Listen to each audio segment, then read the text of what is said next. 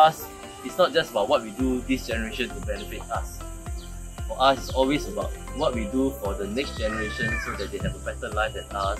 Notwithstanding all the challenges, all the difficulties, but they have a better life, better opportunities, and Singapore continue to thrive and grow, not just become a red dot in Southeast Asia, but hopefully a thriving green hub for the rest of the world.